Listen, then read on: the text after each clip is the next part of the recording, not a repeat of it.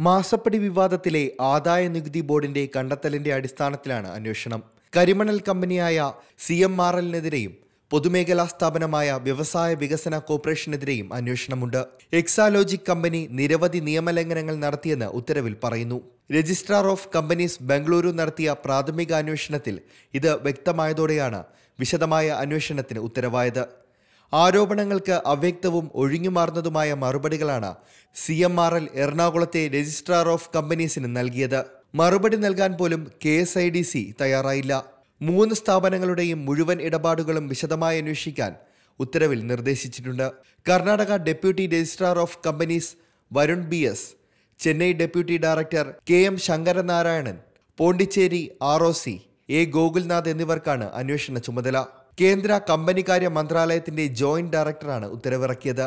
എക്സാലോജിക്കും C M ആറിലുമായുള്ള ഇടപാട് അന്വേഷിക്കണമെന്നാവശ്യപ്പെട്ട് നേരത്തെ registrar of കമ്പനീസിന് പരാതി ലഭിച്ചിരുന്നു.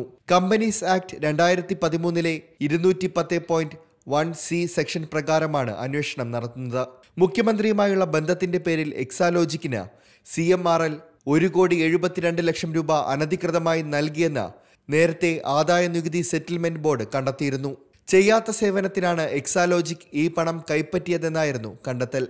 എന്നാൽ നൽകിയ സേവനത്തിനാണ് തുക കൈപ്പറ്റിയത് എന്നായിരുന്നു മുഖ്യമന്ത്രിയും സി പി എമ്മും വാദിച്ചത്. ആദായ നികുതി സെറ്റിൽമെന്റ് ബോർഡ് കണ്ടെത്തലിന് പിന്നാലെയാണ് കോർപ്പറേറ്റ് അഫയേഴ്സ് മന്ത്രാലയത്തിന്റെ നേരിട്ടുള്ള അന്വേഷണം. ഈ അന്വേഷണത്തിൽ ഗുരുതരമായ ക്രമക്കേടുകൾ കണ്ടെത്തിയാൽ സിരീസ് ഫ്രോഡ് ഇൻവെസ്റ്റിഗേഷൻ ഓഫീസ് അന്വേഷണം ഏറ്റെടുക്കും. News desk C Malayalam news. പുതിയ വാർത്തകളും വിശേഷങ്ങളും ഇനി വിരൽ തുമ്പിൽ എല്ലാ ഡിജിറ്റൽ പ്ലാറ്റ്ഫോമുകളിലും ഇപ്പോൾ സി മലയാളം ന്യൂസ് ലഭ്യം.